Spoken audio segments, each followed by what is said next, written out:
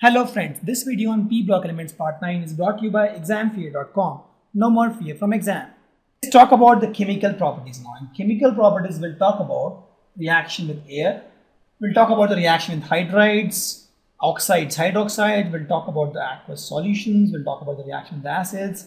We'll talk about the reaction with base. And we'll also talk about halides. Let's start with the reaction with air.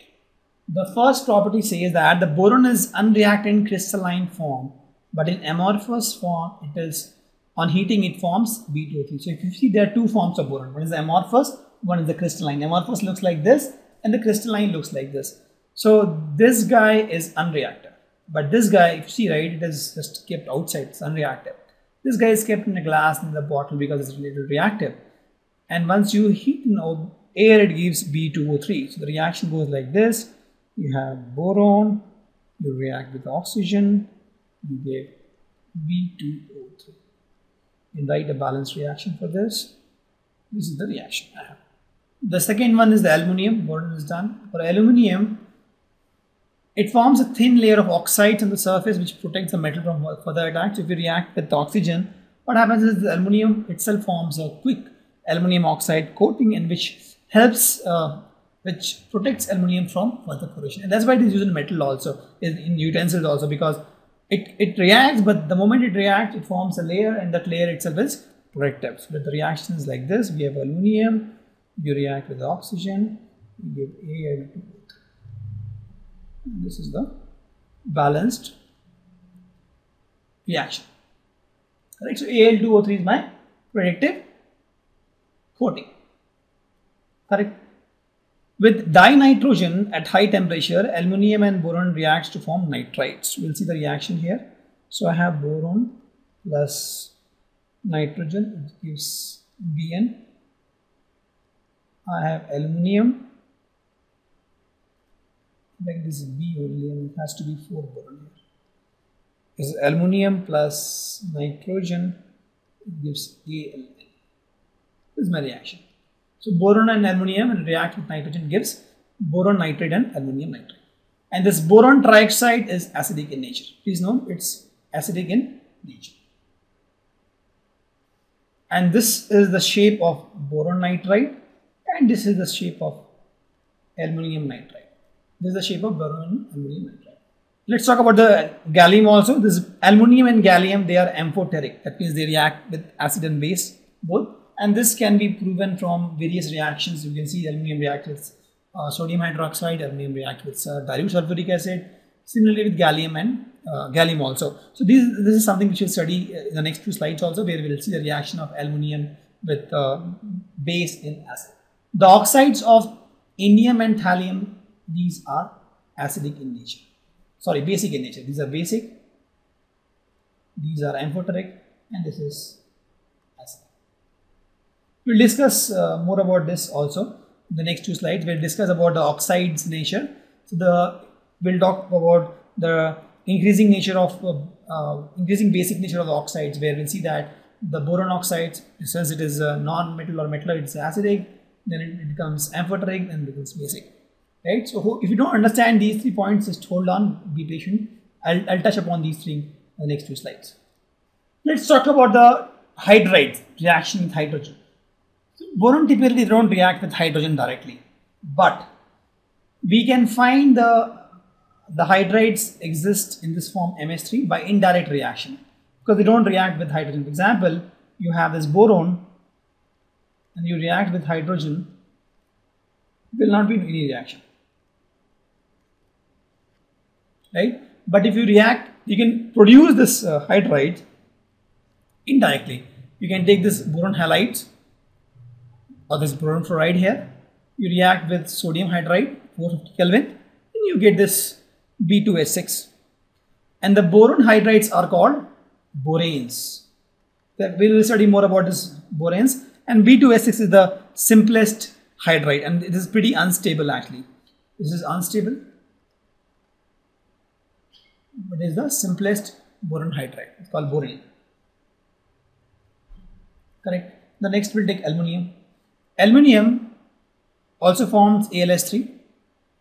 It is colorless solid. It is solid because it has a structure and because of this ALH bridge, it is solid. So this is my aluminum and these are my hydrogens here. So it forms the bridge actually. And because of the bridge structure it is solid. As I told, the the whether it is solid, liquid or gas or what is the melting and boiling point, those things depend a lot on the structure, right? So if it has ALH, AL bridge and because of this it is colorless solid.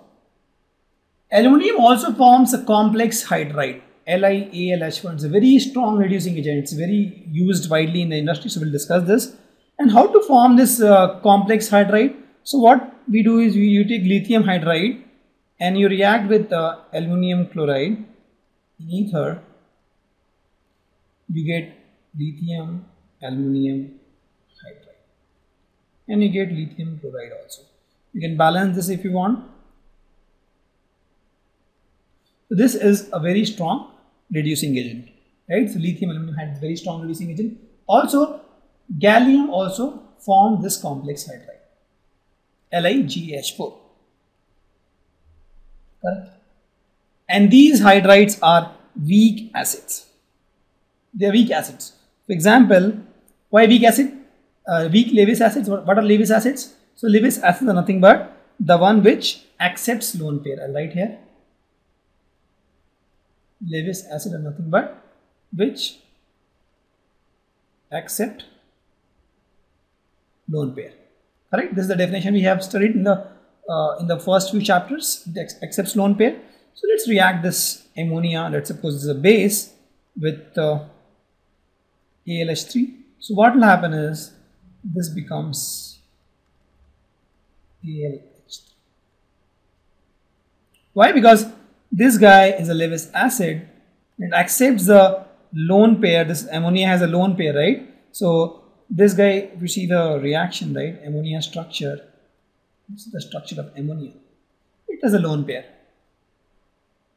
And ALH3, if you see, this is the ammonia hydride structure. This is no lone pair. So it will accept this lone pair and will form this. Okay. So if you see aluminum has how many electrons? 6 electrons, 1, 2, 3, 4, 5, 6 it needs 8 electron to be happy. So it will accept the lone pair from ammonia and they, thus they, they are called Lewis acid and they are very weak Lewis acid. Let's talk about the oxides and hydroxides. The statement says that the nature of oxides and hydroxides turn more basic as we go down the group. So this we go down the group, it becomes more basic. The question is why?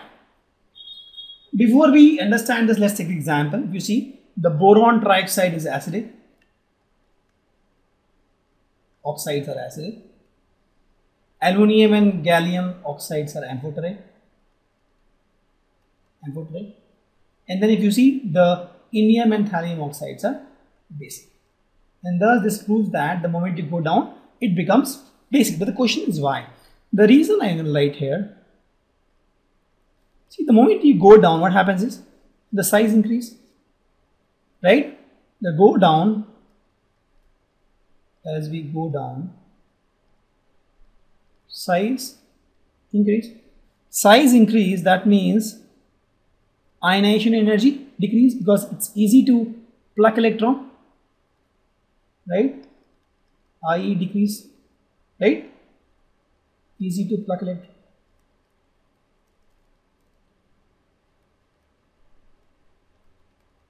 correct see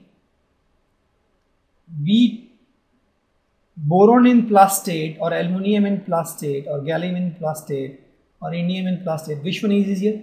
These guys, these guys can become easily in plus states, right? Then these guys, then these guys. Why? Because the size is increasing, so they can easily lose electron and they can always become metal plus ions. Correct? So, since they can easily become M plus ion easily,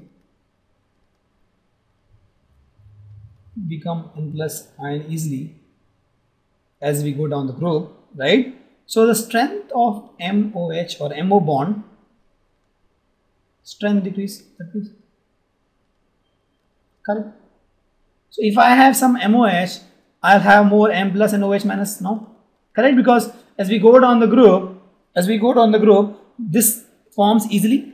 And since this M plus forms easily, I have more OH minus in the, in the solution. Since I have more OH minus ion in the solution, the basic initial increase. So example, if you see, if we talk about aluminum hydroxide, let's take uh, indium hydroxide. So if you see, aluminum has tendency to form Al plus 3, but indium has more tendency to form.